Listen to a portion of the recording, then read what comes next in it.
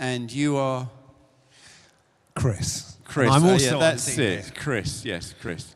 Chris. I wasn't sure if you'd forgotten then, or whether you were hoping I would, um, you know, just introduce myself. No, I was introducing you to introduce yourself. Okay, then. just checking. yes. Get with it. I am with it. Yeah. So um, we we have uh, today we have Andy Kind speaking to us, and uh, we're thrilled about that. So uh, excited with what he will bring this morning, um, and we have communion together.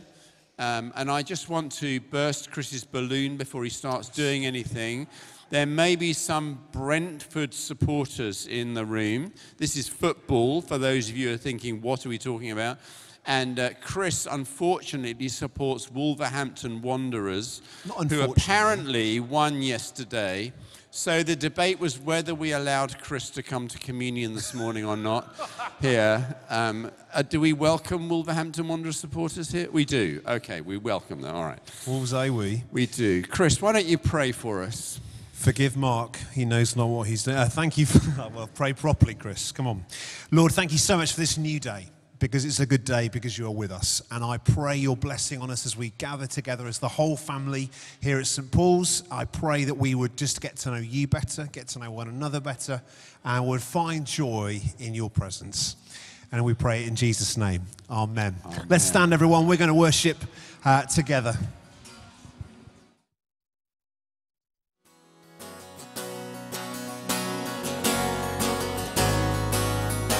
Father of Kindness. Dear Father of kindness, you have poured out grace. You brought me out of darkness, you have filled me with peace. Giver of mercy, all my help in time. Lord, I can't help but sing.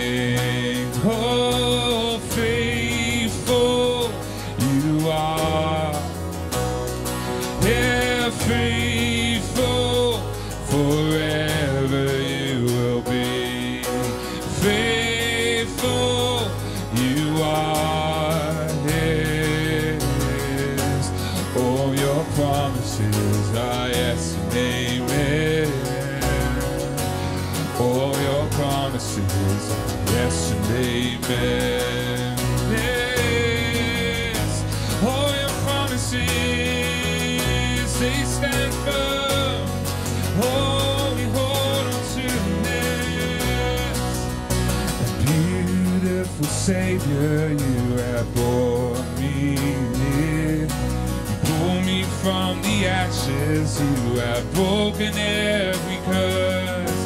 Blessed Redeemer, you have set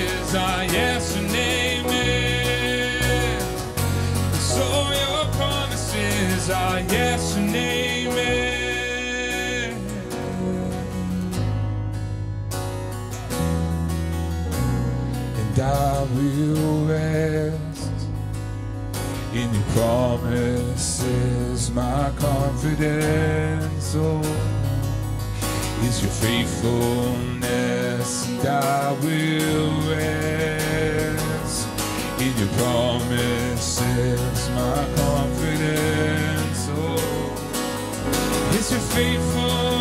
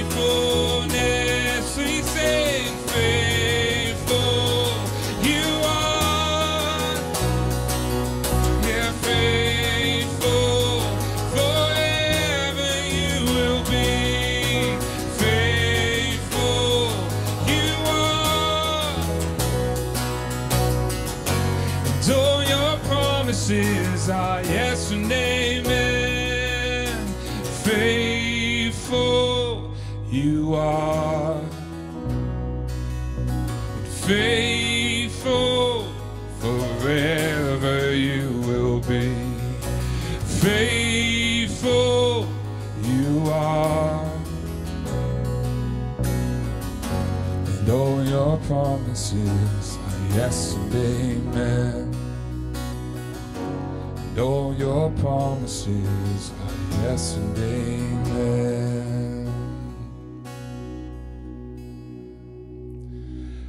We're going to sing our family song together now, and looks like Rebecca's going to be doing the actions again. And we're going to sing Trust the Lord together. So if you'd like to come up the front, any kids who'd like to come up the front and join in with the actions, uh, we're going to do this song together now.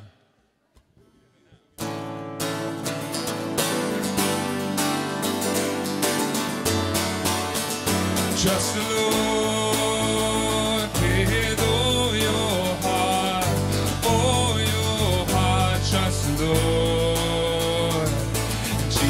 is our King. We're gonna dance, we're gonna sing. Yes, He's our friend, and He's here for us forever.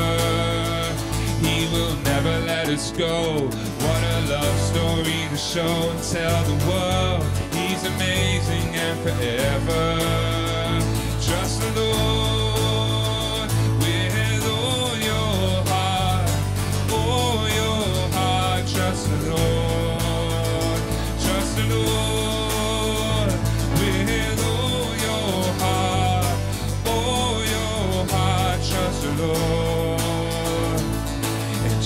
Jesus is our King. We're gonna dance, we're gonna sing. Yes, He's our friend, and He's here for us forever.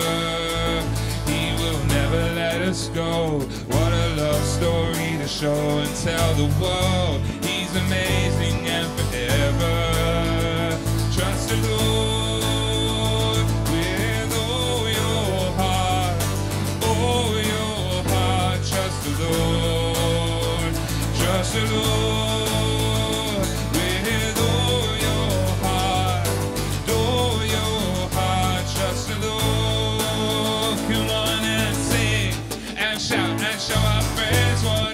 about. To be like Jesus every day. To be like Jesus every day. Come on and sing and shout and show our friends what it's about. Be like Jesus every day. Be like Jesus every day.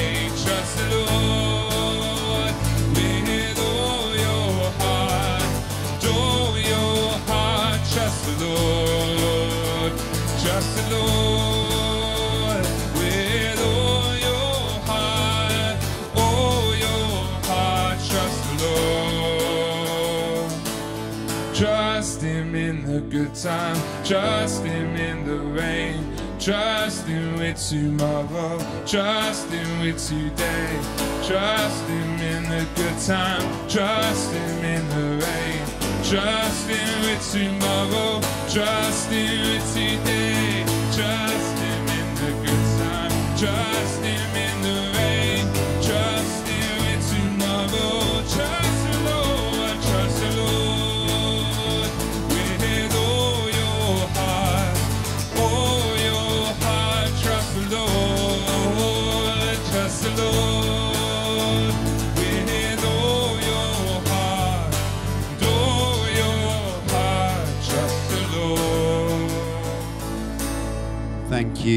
you. Rebecca. Thank you, David.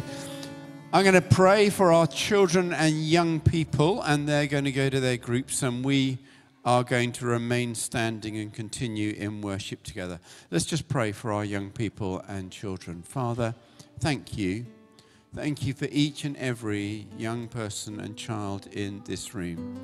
Thank you for your life in them, and thank you for the team that are helping to share something of the good news that's found in Jesus today with each and every one of them. We pray your blessing and presence in each and every room where they meet.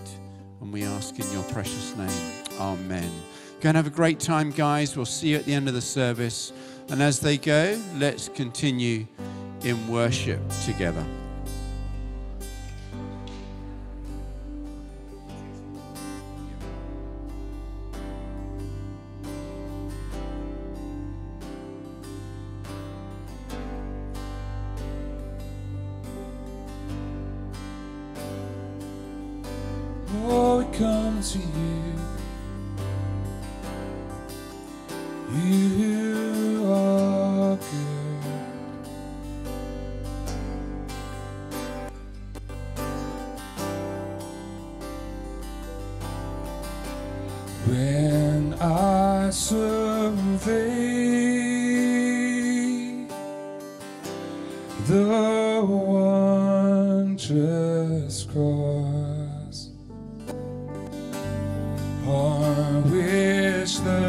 The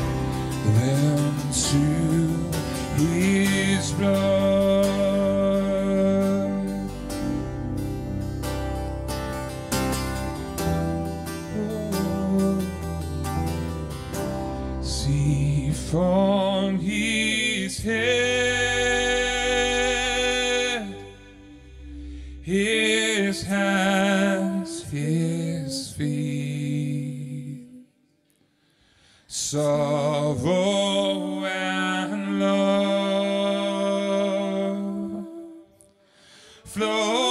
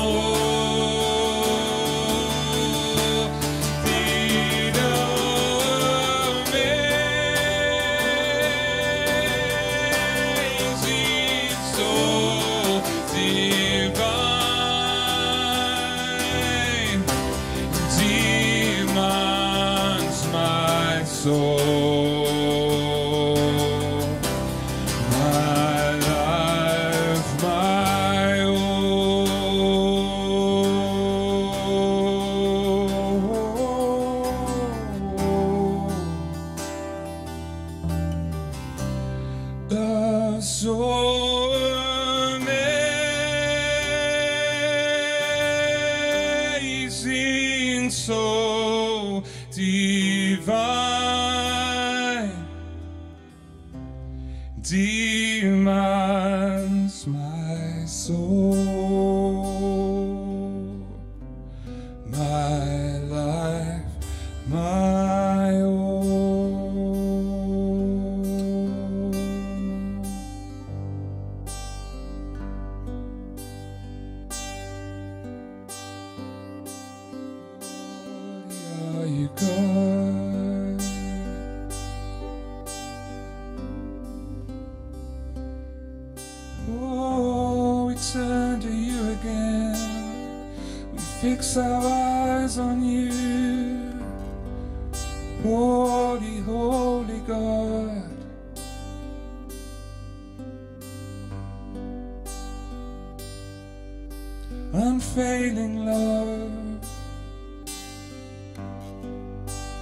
source of all things.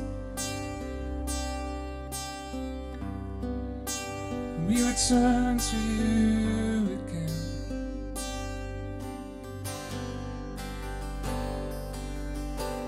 We return to you again.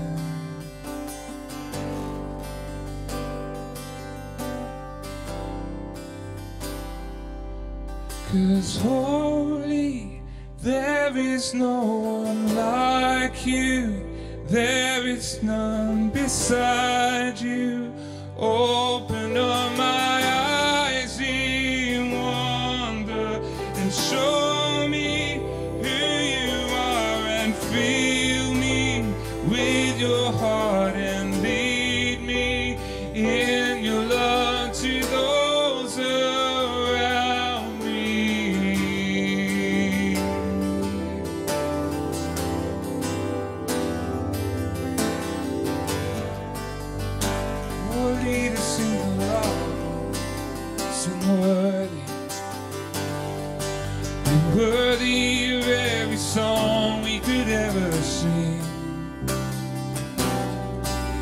worthy of all the praise we could ever bring.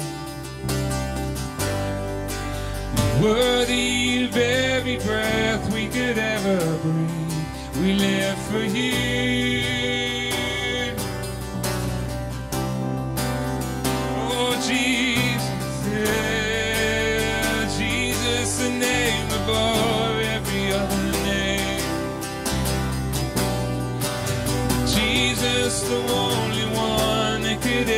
say, Oh, worthy of every breath we could ever breathe. We live for you.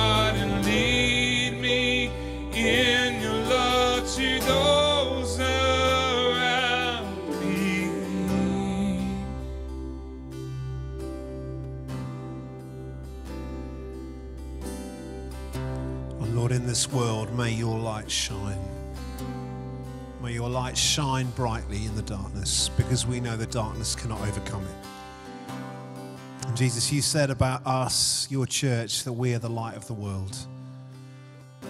That the lamp on a hill, we don't hide it, but we allow your light to shine through us. And, and Father, part of that is that we pray. We pray your kingdom come in our world, your will be done on earth as it is in heaven.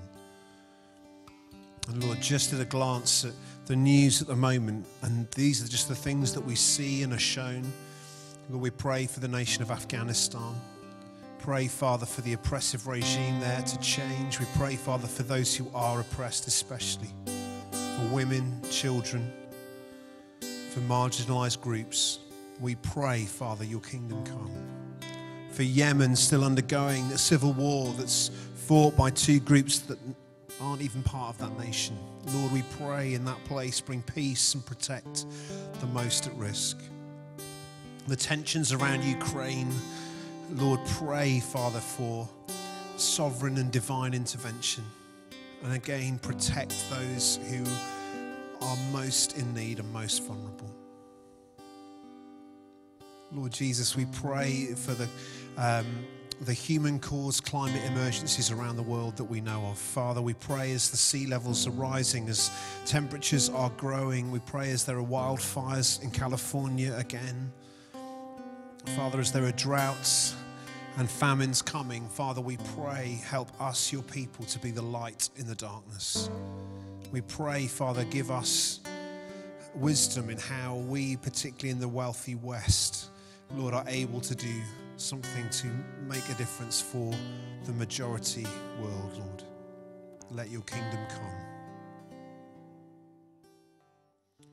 Father, we pray for our own nation and Lord, all of the controversy surrounding our political parties and Westminster, all of the noise that is happening there. Father, we pray for those, Father, who are suffering so much through the cost, rise of cost of living and the increased heating, uh, increased fuel bills, and decrease in, um, uh, in wages. Father, we pray that your kingdom would come.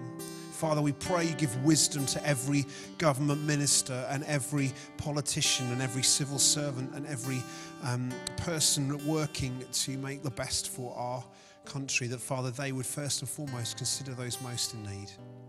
Father, would you help us as a nation to have an economy that, um, that, that looks after the poorest as well as making money, uh, that we might be able to do what we can do. Father, in our nation, your kingdom come. And Father, help us not to be people who react and, and begin to hate, but Lord, to be people who love our neighbor as ourselves and to love those we disagree with. Forgive me, Lord, where I get that wrong. And we pray personally for ourselves and our families, for those we love, for those we have on our hearts the sick, the worried, the anxious, the fearful. And Lord, where that is even ourselves, we pray your kingdom come. Pray for your peace, the perfect peace to guard our hearts and minds. Pray for your provision where we struggle financially, for your strength where we are battling. And pray in our families, in our community, your kingdom come, your will be done. And we pray all these prayers in the name of our Savior Jesus, who loves us. Amen. Thank you so much, Chris. Know, do you take a seat? Do you know there's a, that's lovely. Thank you, David and the team. Just such lovely worship. Uh, there's a great opportunity this week to continue in that place of deep worship on uh, Tuesday. We've got Hungry on Tuesday evening. Um, Hungry, if you don't know what it is, is an hour uh, we have every month on a Tuesday evening where we just gather for extended worship. We don't have a, an agenda, as it were, an order of service, but we just want to spend time seeking God individually and together. Um, and it's a great place to come if you're just wanting that space to be with God. Um, whether you've been before or not, you're really welcome to come. It starts at 8 o'clock. Um, just come in the main entrance of, um, of church. It'll either be in the foyer or in the main church, depends on numbers. Um, but um, we look forward to welcoming you there. And just to say beforehand, if you're a young adult or if you know of those who are young adults, there'll be food served beforehand, a meal for anyone in that age category um, who'd like to come. So do spread the word, let people know. what time is the meal? 6:30. 6.30, thank you. 6.30 for the meal and 8 o'clock for Hungry. So love to see you there for that. And um, there's also another opportunity to gather for food. So if you are new or relatively new to uh, the St. Paul's family and would like to meet some new people and uh, hear a little bit more about us as a church, you are invited to dinner tomorrow night at 7.30. We meet in the foyer.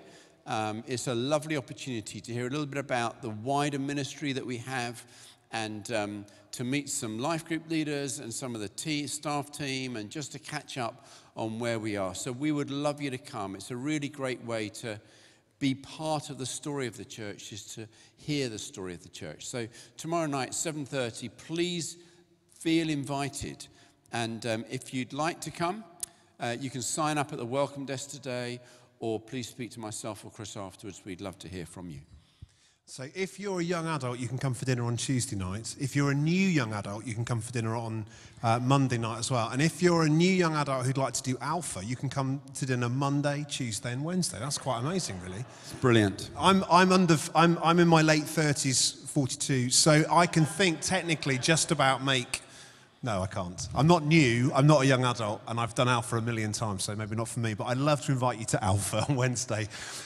Let's get to the point, shall we? Um, so, Alpha, if you don't know what Alpha is, it's um, a series of um, eight evenings where there is great food, uh, a presentation about an aspect of Christian faith, and uh, more importantly, a great chance to discuss in groups and ask the questions you'd love to ask. And it's for people who are thinking about faith, people who've been, been, been had Christian faith forever but want to re explore that or rethink it. And basically, it's for anyone if you would like to join. Um, Tim Radcliffe will be leading it with a great team. Um, starts this Wednesday, the 26th at 7:30 p.m.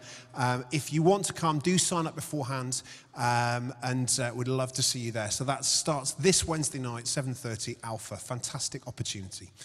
And um, uh, there's a, lovely opportunity as well if you are looking for a place to serve within the church. I don't know if you know, but we run a language school every week.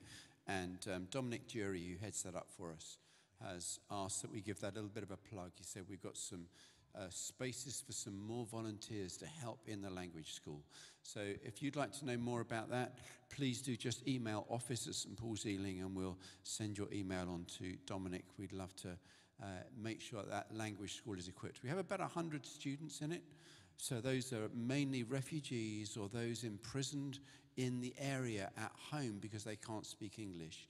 And uh, helping them to learn English gives them the uh, the, the, the, the ability that they need to get a job and start to live life in our country. So uh, it's a brilliant ministry and uh, uh, a great opportunity to engage. And tonight, love you to pray for Ben's, Ben and Lydia Strain. Uh, ben is being inducted as vicar of uh, Holy Trinity uh, Sydenham with Forest Hill, six o'clock tonight. Um, there'll be a group of us going to support him. Um, um, some of you may well be going as well. We'll see you there. Um, but pray for them tonight, six o'clock, as they're inducted there and start their ministry properly there tomorrow. We have a reading, and is that right? It is. Yeah, good. Phil That's good. is Good job you're here. Phil, come and lead us, please, friend. And then Andy Kind is going to come and speak for us this morning. Thanks, Phil. Reading this morning is taken from Psalm 67. May God be gracious to us and bless us and make his face to shine upon us. May your way may be known on earth, your saving power among the nations. Let the peoples praise you, O God. Let all the peoples praise you. Let the nations be glad and sing for joy, for you judge the peoples with equity and guide the nations upon earth. Let the peoples praise you, O God. Let all the peoples praise you. The earth has yielded its increase. God, our God, shall bless us. God shall bless us. Let all the ends of the earth fear him.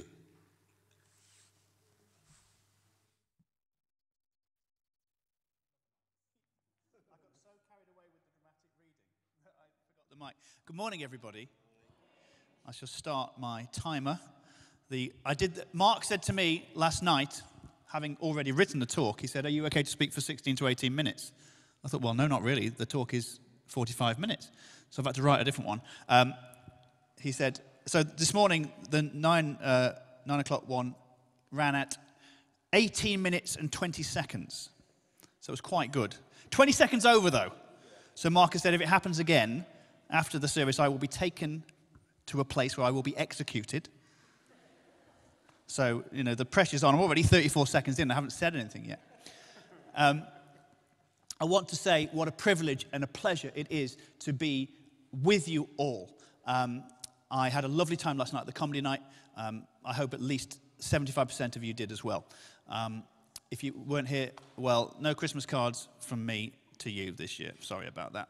But it's a real joy, and I resonate with that line from um, the Wondrous Cross joy and sorrow flow mingled down. And it's one of these places where you come and you preach and you serve, where you have the joy of being with an amazing community and the sorrow of thinking, oh, this isn't my church. I've got to go, I've got to go home after this. So um, I resonate with that, the joy and the sorrow of, of being with you and knowing that it's just for a, a short while. One minute 20 and I haven't started the talk yet. So uh, again, the tension's on, isn't it? The pressure's on. Um, but I was saying to uh, Mark and Lindsay last night uh, over a game of darts, and um, and a tankard of ale. Yeah. that as I was looking, as I was looking back at some of the preachers that I might give, pre-pandemic, the preachers I gave pre-pandemic, I am slightly embarrassed by because they were flirting on the boundaries of, of cliche. It wasn't that they weren't true, but they were trite and crass and flippant I, have had to repent of, of the way, not necessarily what I said, but the way I preached. My aim was always to give, because I'm a comedian, was to give people that fluffy feeling of well being. People would come and say, oh, I really enjoyed that. Thanks for that. Oh, it set me up for the week. I do want you to be set up for the week, but I don't need you to have a fluffy feeling because the world doesn't have a fluffy feeling at the moment. And you know, as Christians, we have a real story of hope and comfort to offer people. But in order to do that effectively, we need to dispense with cliche. And in my life, and I think in the life of the church in the UK and in the West, there's been too much cliche, things that sound good and sound encouraging, but are too superficial and actually ultimately unhelpful. So the call this morning is to dispense with cliche and to go out into the world to offer the real comfort that we have. The God of all comfort who comforts us in all our troubles so that we can comfort those who are in trouble with the comfort that we have received. Second Corinthians. We're not saying, what I'm about to say is, is not to say that everything I've previously done is wrong. It's not to say that some of these phrases I'm going to quote are wrong. It's just that there's a better story. There's a better story, a real story of hope and joy and comfort and freedom that we've got to offer, and we want to administer it faithfully. And the way to do that, again, is, is, to, is to call it as it is. So, the slogans I hear that have seeped into the church, such as um, your breakthroughs around the corner, God's got someone better for you, God just wants you to be happy. These things aren't necessarily automatically false. But they're not, they're not guaranteed truths. And what they are is, is Disney and Hollywood. One day my prince will come. Somewhere over the rainbow. It's Hollywood, it's romantic comedy where you always get the happy ending in the neat package. But you, you know from the last two years of your life that happy endings don't come in neat packages. You have probably experienced, as I have, more trauma in the last two years than you thought was possible for whatever reason.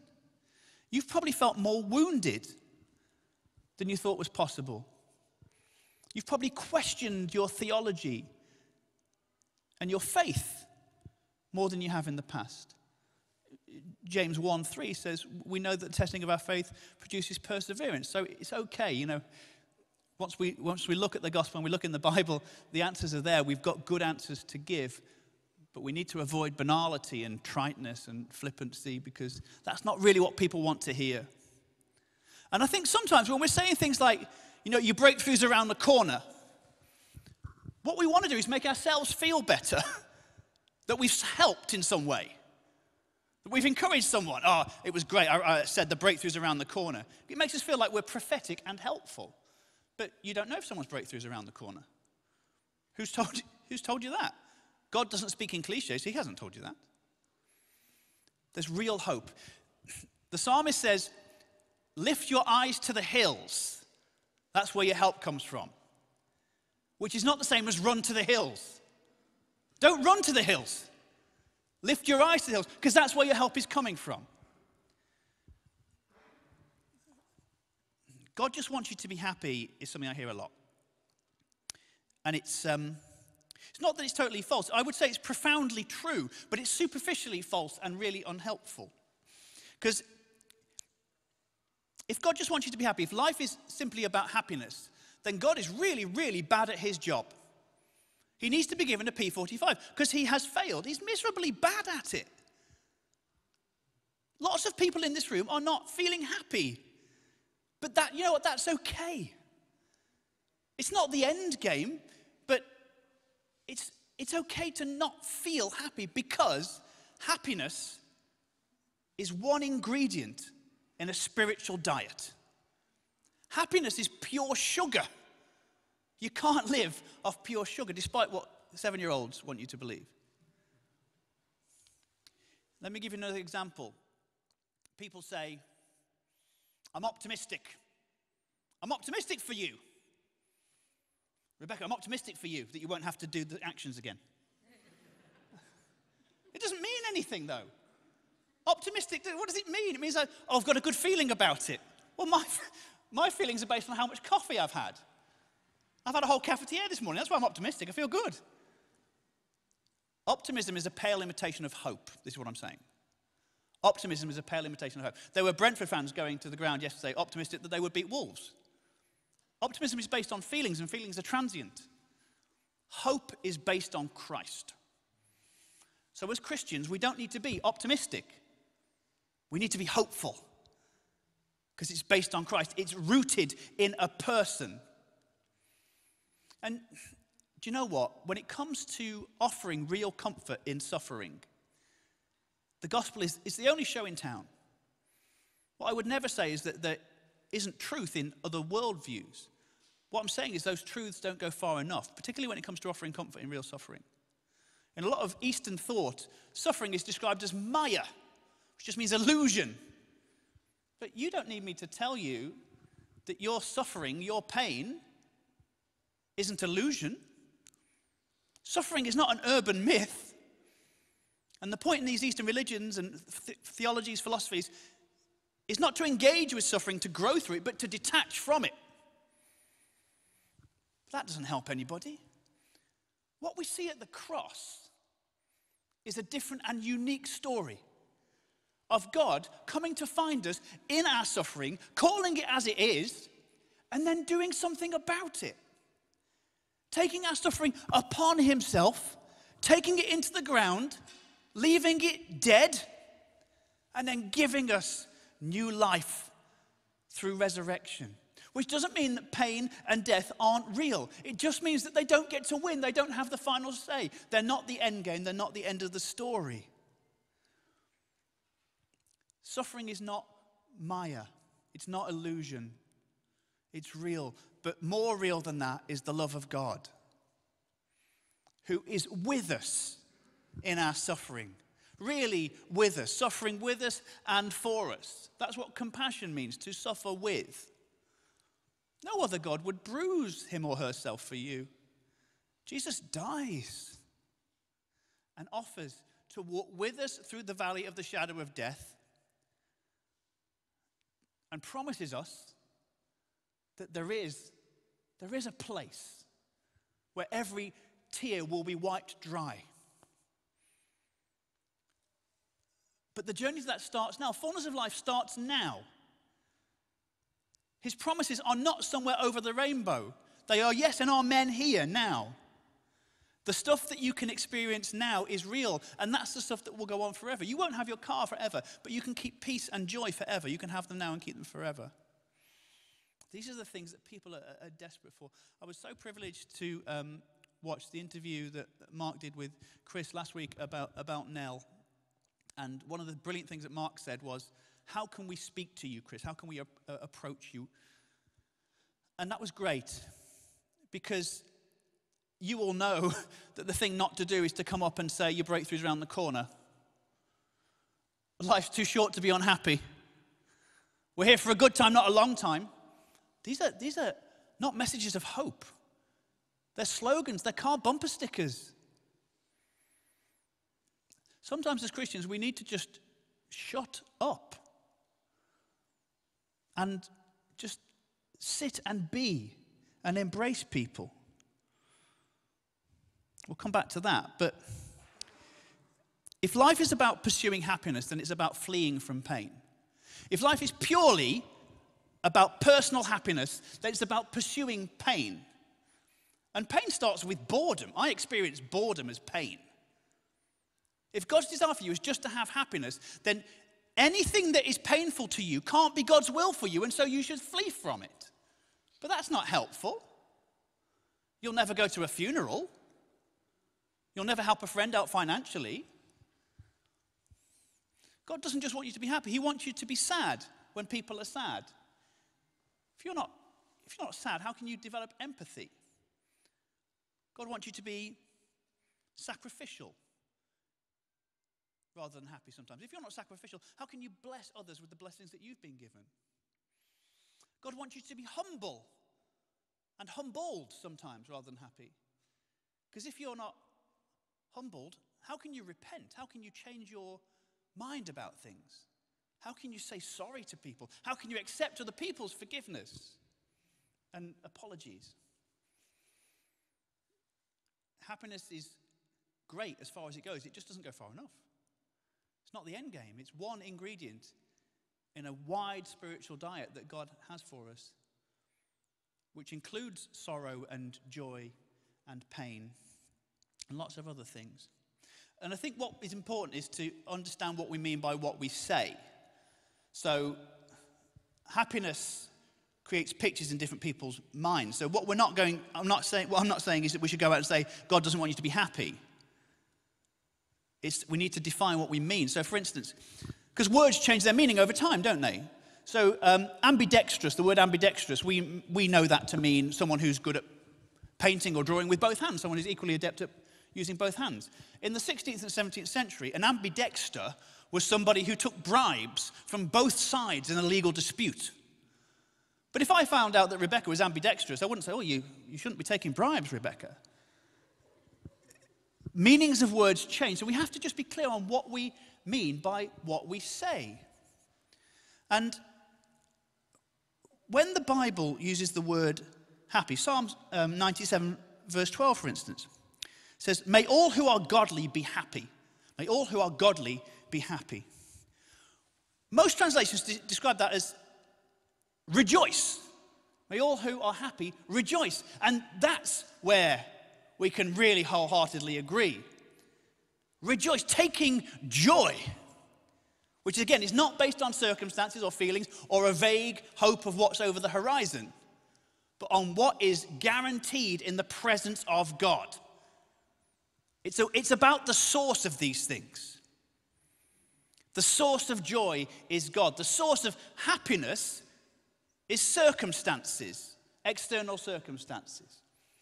So, does God want you to be happy? Does God want you to rejoice? Yes. Life's too short not to rejoice. In His presence is fullness of joy. Whatever is going on externally, Optimism is based on circumstance, hope is based on Christ. Happiness is based on external factors. Joy is based on that knowledge that He is with you and for you and will never condemn you. How we meet suffering depends on what we think the purpose of life is. some of us become addicted to happiness. And if there is no God, then I agree that, you know, adrenaline and endorphins are the best thing out there, and so we should just go after them. But I think there's a, there's, a better, there's a better story. If we believe that, if you become addicted to happiness, then God is just your dealer. If happiness is your drug, then God is your dealer and not your father and not your Lord and your Savior. If we believe that the point of life is just to be happy, just to go after happiness, that when suffering comes, we will either believe that God doesn't like us very much or that He's not real at all. Usually one followed by the other, and I've seen that happen a lot. I've seen that happen a lot. I don't know how to cope with this. Why would God allow this to happen to me? He doesn't love me. He's not real. I've seen it happen. If, however, we believe that the point of life is to glorify God and enjoy Him forever, Westminster Catechism, to glorify God and enjoy Him forever, then we will find that no matter what happens, no matter what befalls us, we will find and know to be true that there is neither life nor death, neither angels nor demons, neither height nor depth nor anything else in all creation, any power that can separate us from the love of God. The greatest love story of all time. That one place in the universe where you are really held and really known and really loved, even as you are really known. And that's where the comfort comes from. When people are in pain, they don't need slogans. They don't need slogans. They don't need bumper stickers. They need real messages of hope. And friends, you have it. You carry it. And you might say, Oh, I'm feeling pretty wounded at the moment. I know I am. But that's, that's the deal. That's, that's part of the Christian storyline. The Lord Himself took wounds. By His wounds, we find healing. When I'm in trouble, I don't go to the people who've never been wounded. I don't go to the people with unblemished skin and porcelain smiles who say, Isn't life great? The time for that is over and done with, my friends. I go to the people who have been wounded, badly wounded, and have stood, have held the line, have refused to break. Persecuted but not abandoned squeezed but not crushed, not in despair.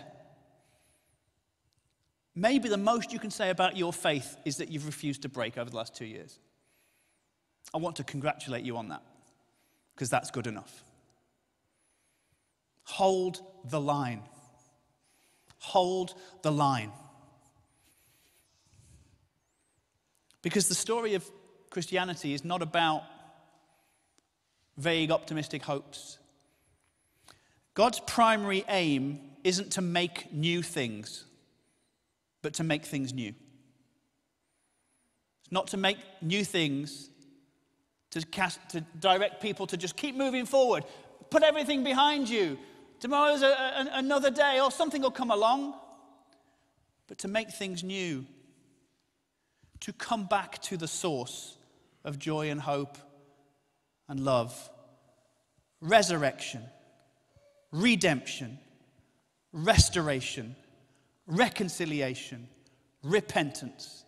Selwyn Hughes in Every Day with Jesus said that God loves to do three things He reveals, reverses, and restores. And it's all about coming back to coming back to the source. Because when you come back to the source, you don't need to leave the source. You don't need to run for the hills. You don't need to uh, abandon people. You don't need to chase after experiences. You can just sit. And then when people come in need of comfort, you can sit with them. Romans 12, 15. Rejoice with those who rejoice, weep with those who weep. You are an amazing community. I don't need to be told to discern that. It's obvious the, the key to an amazing community is to be able to not just rejoice with those who rejoice and party with those who are partying, but to weep and mourn with those who weep and mourn for as long as they need to mourn and as much as they need to mourn. That is the key to Christian community. And that is That, that's the gold standard for us as Christians. I am now massively over, so I'm going to finish, but I have finished. It's not that God wants you to live in pain, but there is purpose in pain. And we do know that fullness of life starts now. We can offer people a hope and a joy and a love that's not based on their external factors or circumstances. And we also know that somewhere in those hills is an ultimate, eternal, happy ending that's coming for us, where every tear will be wiped dry. And there will be no more sorrow, there will just be joy. Life is too short not to rejoice, my friends. Happiness is not good enough. Amen.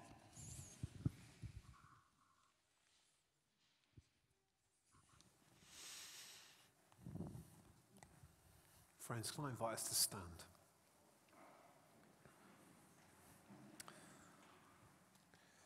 We all have a story um, in life. We all know joy and pain, and often at the same time, as Andy said, you know, we rejoice with those who rejoice, weep with those who reap, often at the same time in the same room, because that's what life is like. Um, and I just want to pray now and just ask God by His Spirit to fill us afresh, to remind us of His presence with us, and just to see what God might want to do in the room this morning. So just encourage you, if you'd like to hold out your hands, just saying to God, I'm open, open hands, open to you. I'm ready for you to receive the good things you have to give me.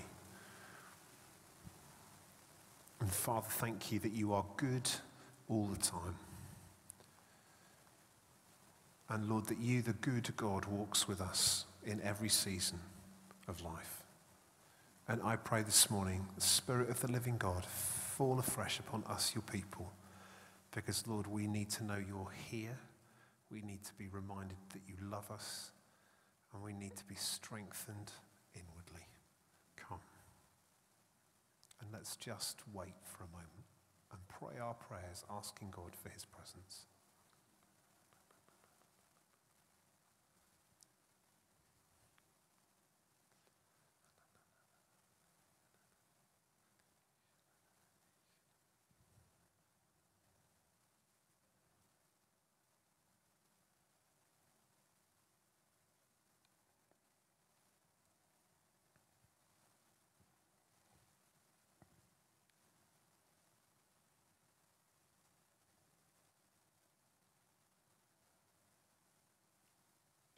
and increase your presence now. Increase your presence now.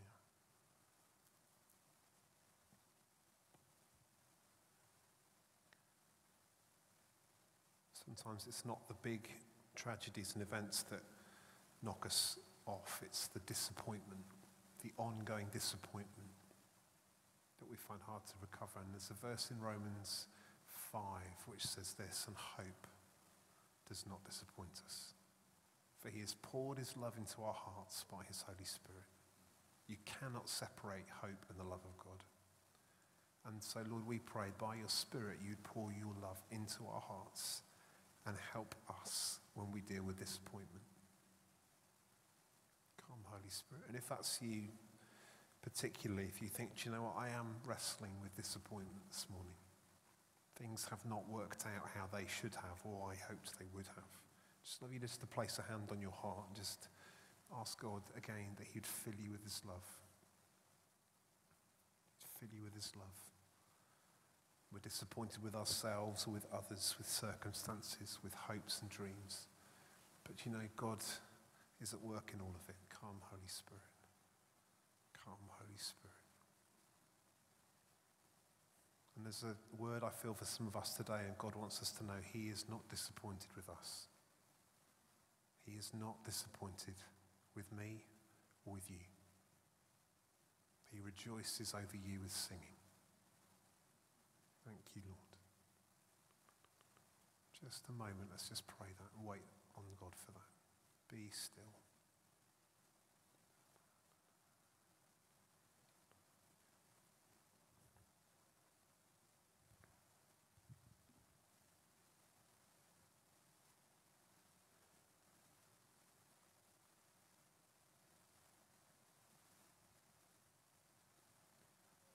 This morning, as we come to the, the table for the family meal, this is a meal that's about faith, hope, and love.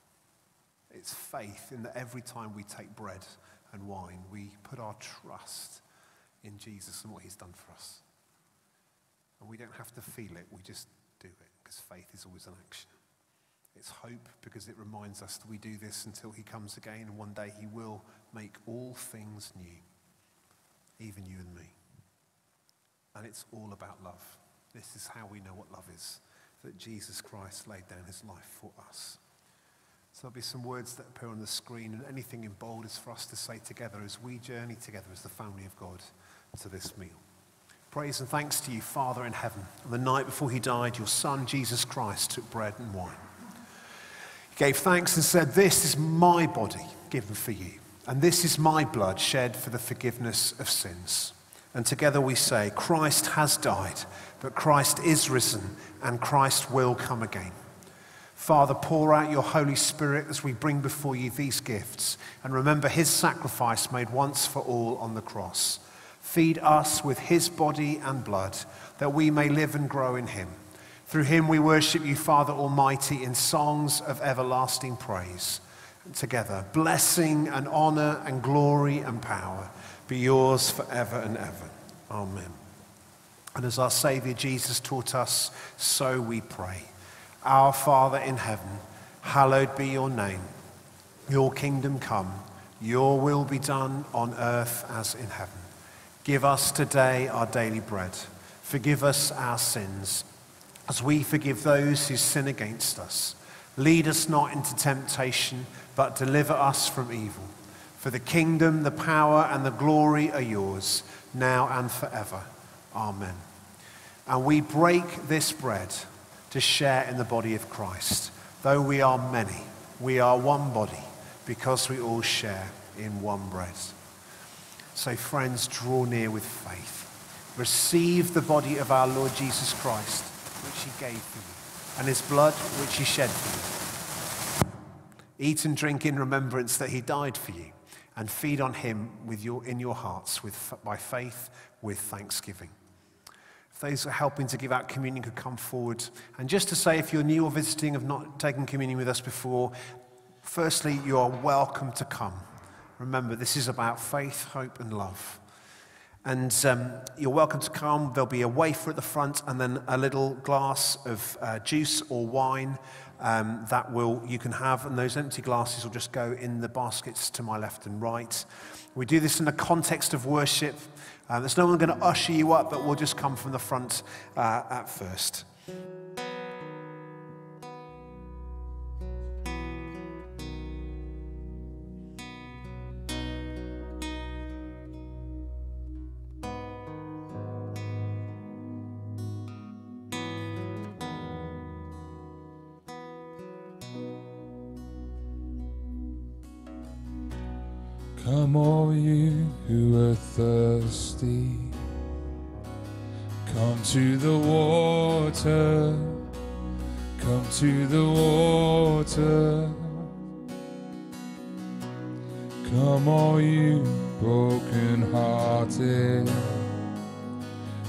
To the Father, come to the Father. Unfailing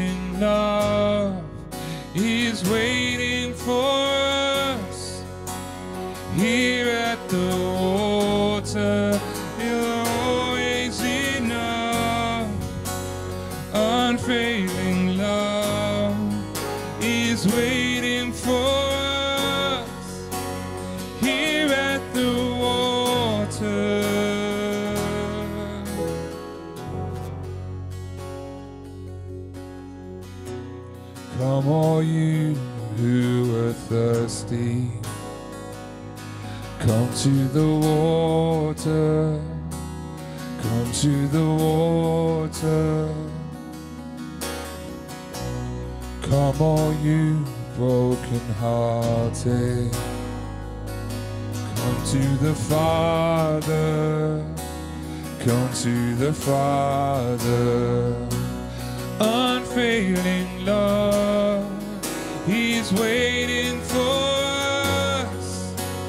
Come to the water, there's always enough. Unfailing love He's waiting for us here at the water.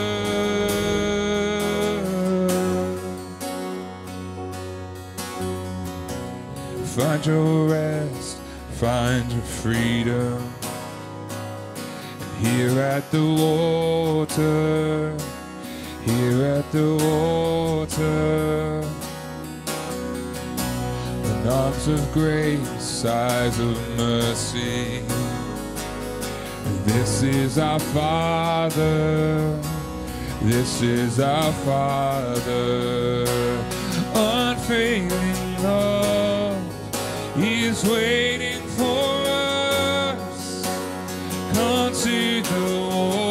water,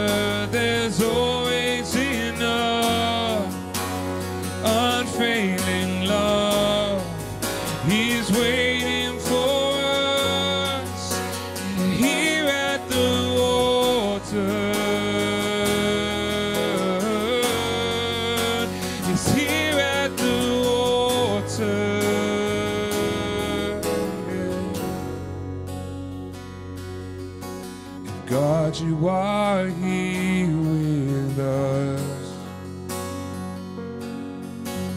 Tender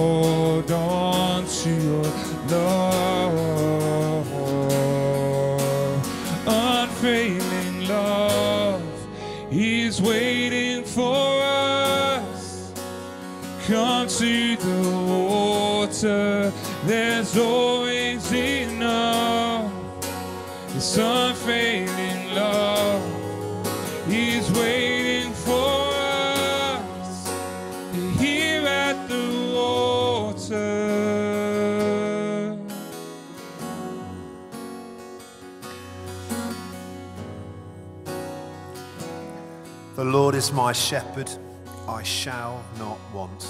Jesus, thank you that you have done it all. That on the cross you gave of your life, your body broken, your blood shed, that we might be forgiven and go free and be made whole. And so, Lord, I pray for us as we've come to celebrate this meal, both for some of us with sadness in our hearts, but also knowing that in your presence, as Andy said, there is fullness of joy. That, Lord, you give to us everything we need. And we're going to sing now our final song. So I'd just love to invite you to stand if you aren't already. Um, and after that, Mark will pray God's blessing upon us. Who, oh Lord, could save themselves? Their own soul could heal. Once our shame was deeper than sea, your grace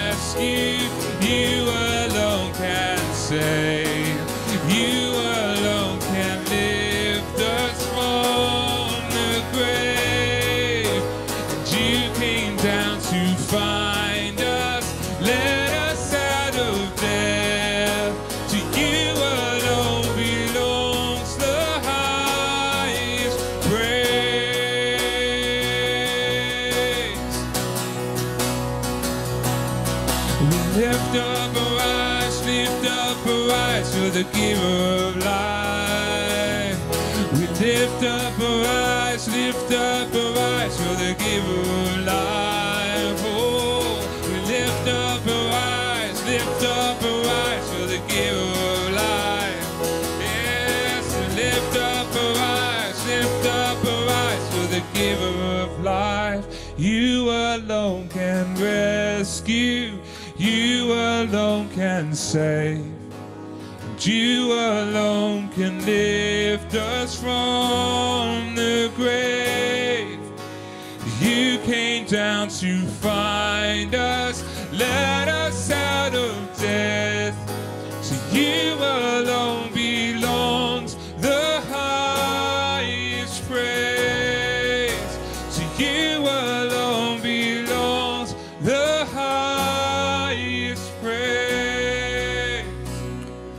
Friends, thank you for being here today. Thank you for uh, journeying with us. Thank you to Andy for speaking. It's great to have you here. Um, I want to pray God's blessing on us as we go, but just to say, um, if you would like to give this morning, there's a card machine at the back and a basket. If you are new or visiting, please do go to the welcome desk. We'd love to give you a welcome pack and connect with you and hopefully invite you for dinner tomorrow night. Let's ask God's blessing on us. Father,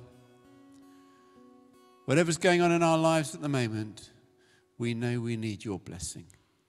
And so the blessing of God Almighty, the Father, the Son, and the Holy Spirit be with you, with your families, with your friends, and with your loved ones this day and for always. Amen. Amen. Don't rush your friends. There's tea and coffee. Do stay and connect together. Thank you for being here today.